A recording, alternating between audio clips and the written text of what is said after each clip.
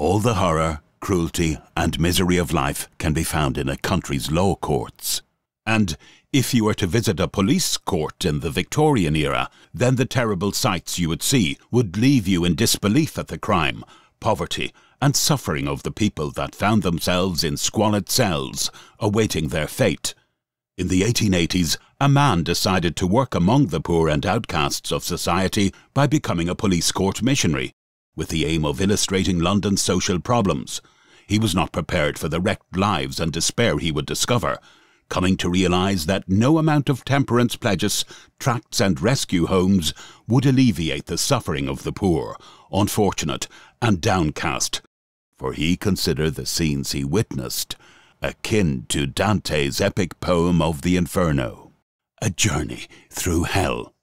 In this account of his first day at Lambeth Police Court, you will discover how the horrific scenes he encountered had such a profound effect on him that he was reduced to tears and left with constant nightmares.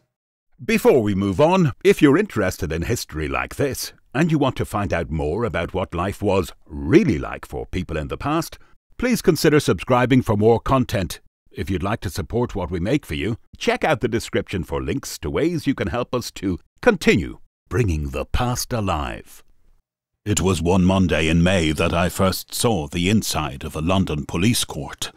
It is fifteen years ago, but that day is still fresh in my memory.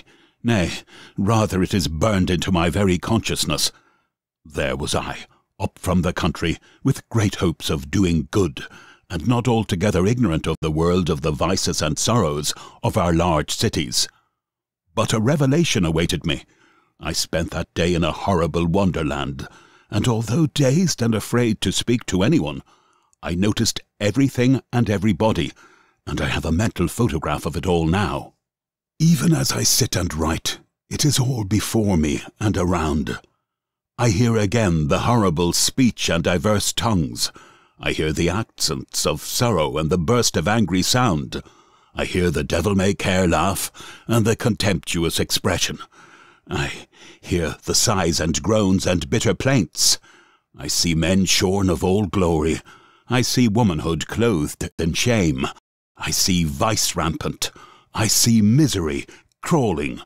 I see the long procession of the drink or vice stricken as they tramp down to the place of wrecked lives and slain souls.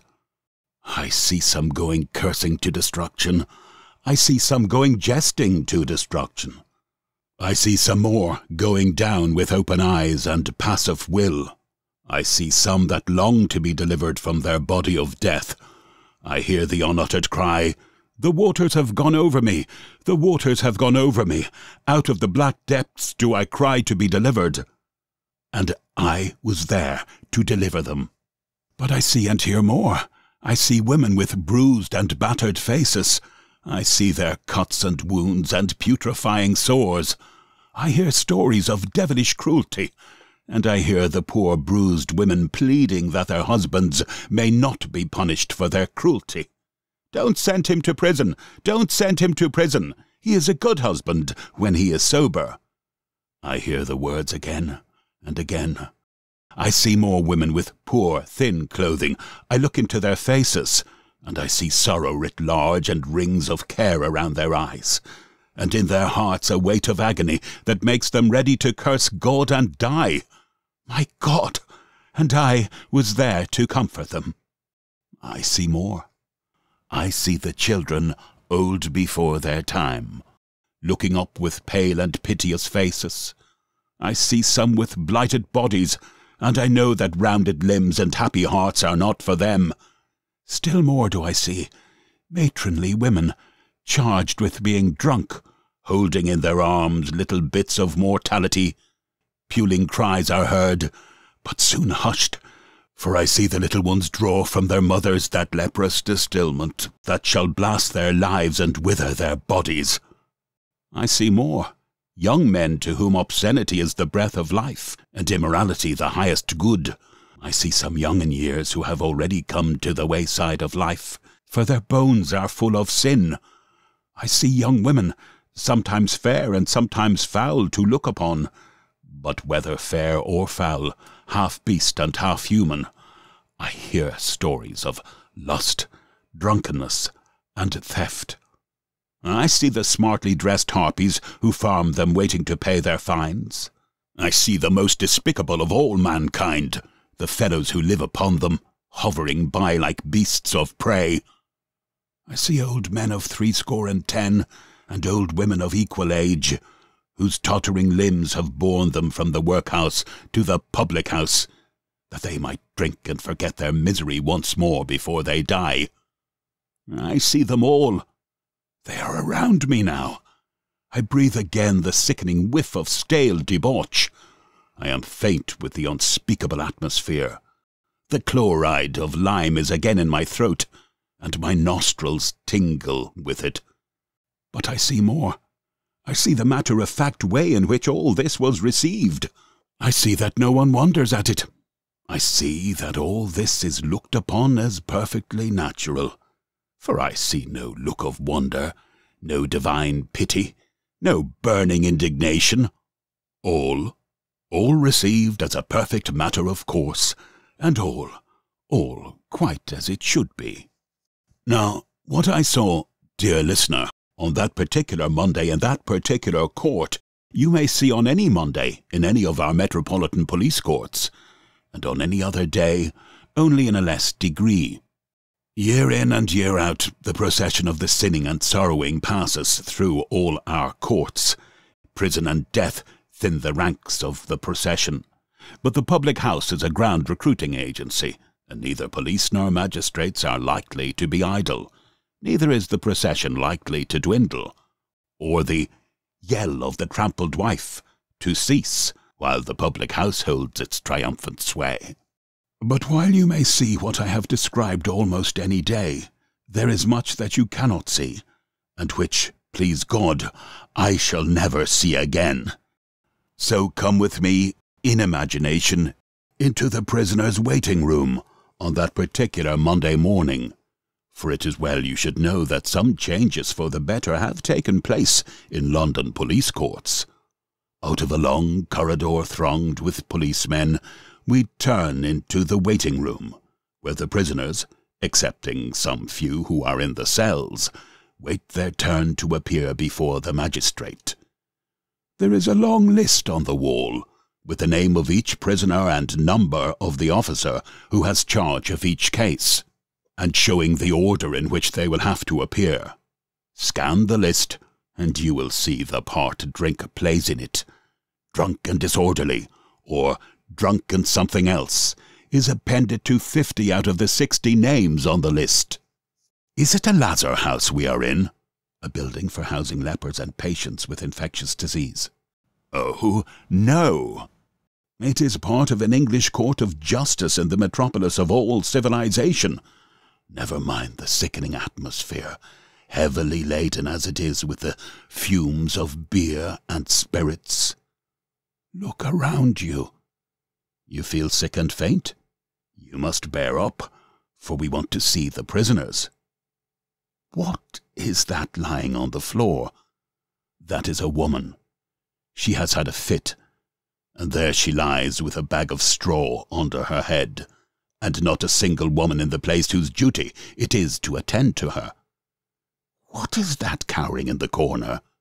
Well, that has been a woman, driven years ago by the devil of sensuality into the wilderness of sin, where she took to herself other devils.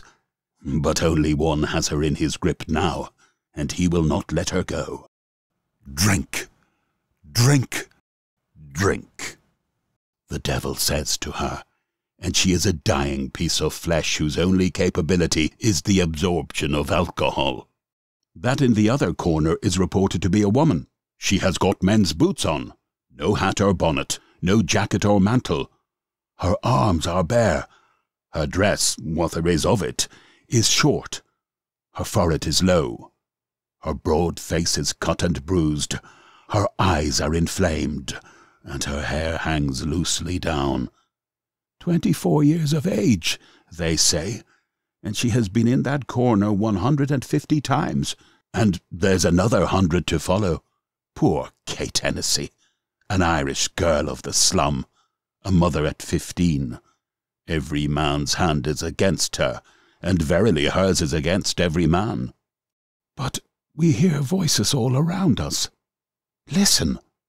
Fast young men are exchanging coarse obscenities with that group of unfortunates, and no one says them nay. Listen! Businessmen are cursing the delay of the magistrate and the impertinence of the police, for they want to pay their fines and be gone. Listen! You hear a girl of tender years bitterly crying. You hear a doddering old woman talking to herself. You hear knowing men proclaiming the iniquities of the police. You hear the loud laugh that tells the life history of the laugher. You hear someone faintly ask for water. Look at him, a well-dressed, middle-aged man, shaking in every limb as with palsy, he is nearly in delirium tremens. How the water gurgles down his hot throat. He does not know his name. He cannot tell whence he comes, and when put into the cells, the Furies will be with him and upon him. You hear someone crooning snatches of good music. She has been here fifty times. A woman from a home of culture. She is half drunk now, and the old songs come back to her although she has got to the lowest depth and rolls with pleasure in her sensual sty. Anybody got a smelling bottle?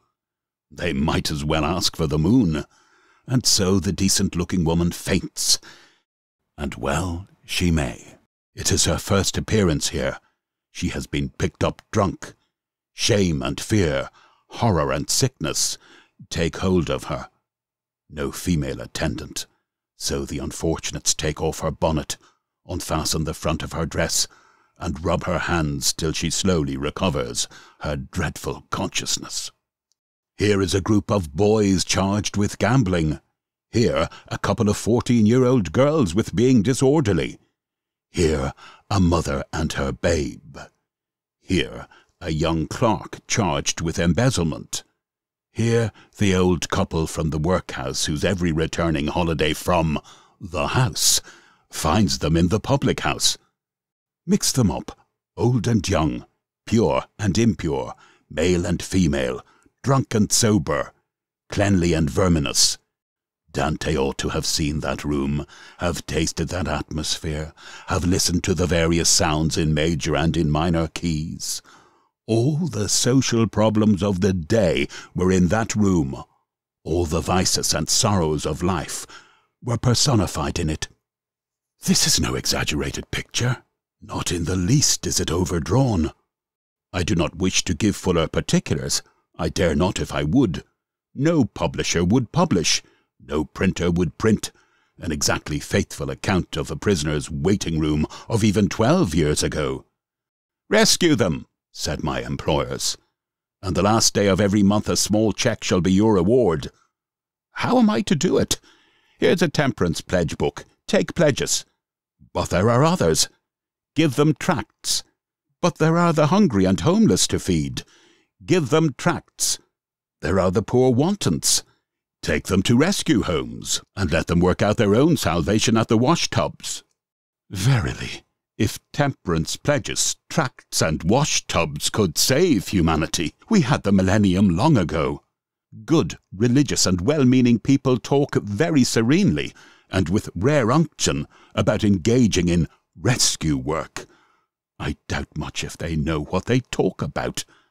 Have they ever thrown themselves into the very existence of a drink or vice possessed man or woman? Have they ever stood in front of such a one and said, Hold, you shall not go to destruction? Have they ever taken women possessed of an unclean spirit into their own homes to try what human sympathy and timely help would do for such? If not, let them do it, and I venture to say they will hold their peace or speak with less assurance. I was afraid of my work that first day. Neither did I require the phrenologist to tell me that I had made a mistake. But there are other parts of the police court to explore Come to the cells. Down the corridor. Past the jailer's office. Turn to the right. There they are, all in a row. It is afternoon, and they are pretty full. The prisoners have been reeled off by the magistrate, and some are going to prison and some are hoping for the coming of friends to bring the money for their fines. The prisoners' van has not yet arrived, so we have time to see the prisoners. Come along. Do you feel bad already? You see the little trapdoors about nine inches square in the doors of the cells. They are open, lying at a right angle outward. Put your face to one and look in. Ah, now you have got the full flavour of a London police court. One gulp is enough. How would you like to swallow some of that every day? You shudder. What? Not for a small cheque once a month? Look again. It won't be so bad next time. You look and hold your breath. While you gaze, you get used to the semi-darkness and find you are looking into a woman's cell for they do divide the sexes after they have been before the magistrate. There is Kate in the corner, but her blucher boots are gone. The jailer has taken them away because of her persistent kicking at the door. There is the festering piece of humanity in the other corner. There is the young girl who has stolen. There is the mother with her babe, for her fine has not yet been paid, and there are others in that low, square, dark cell with its sanitary arrangements in the corner, and no female attendant on the premises. Shall we look into the men's cells? No? You have had enough? So have I. And here comes Black Maria. A door at the bottom of the cell passage is opened, and there stands the prisoner's van with its steps let down, its back door open, and its cupboards unfastened, yawning like the grave for their prey. The jailer hands a list of prisoners to the sergeant in charge of the van. The cell doors, one by one, are unlocked. From their cells to their cupboards the prisoners go. The cupboard doors are fastened, the back door is locked, the whip cracks, and away with its human freight of vice, misery, and despair goes the prisoners' van. And I was there to save them. I went into Kennington Park, sat down, and cried like a child. Thus ended my first day in a London police court. Kind listener, do not say I am talking cant. Strictly religious friend, do not say I am impious. But that night I was a man of sorrow and acquainted with grief. Ay, and for days and months afterwards my sleep broke from me and I wonder how many times in the small hours of the morning my wife has said to me, Now you are not asleep, you are bothering your head again. Why, they were looking at me, mowing and jibing at me, mocking at me, with outstretched hands appealing to me. The people whom I was paid to save and didn't. If I dozed a little, I then began to talk nonsense and my wife declares that I repeated hosey tozy, hosey tozy hundreds of times. I wouldn't like to go again through my first year's experience. What a pitiful position mine was. No friends in London, to go day after day to meet with abject poverty, hopeless misery, and unspeakable sorrows, to have a full heart and empty hands, I have said many a time to myself, Thou hast nothing to draw with, and the well is deep. It was deep. Too deep. I wonder how it is that folk undoubtedly good think that poor humanity can be warmed, fed, and comforted with tracts, or be saved with goody stories. Poor humanity doesn't much care for advice gratis though some folk seem sent into the world on purpose to bestow it. Just about my darkest days in my police court experience, a well-known lady invited me to her house to meet a famous religious philanthropist. She wished me to tell him about my work. This gentleman gave very large sums in aid of revivals, etc. I could not tell him of the souls I had saved, or of very much good I had done, but I told him of my opportunities, of the humanity that I loved, of the wants of the poor, of their temptations and sufferings, and of their patience and self denial. I think I was just getting a bit eloquent when he burst in and, in a knockdown manner, said, Do you give them Christ? I'm afraid that I was vexed, for I replied, Sir, I cannot carry Christ in parcels and distribute him. I can only do as I think he would have done. How's that? I give them myself. That closed the interview, for neither lady nor gentleman wanted to hear more. Yes, I had to give them myself, for I had nothing else to give them in those days. And no one can say that I spared myself, but it meant something, for it nearly proved too much for me.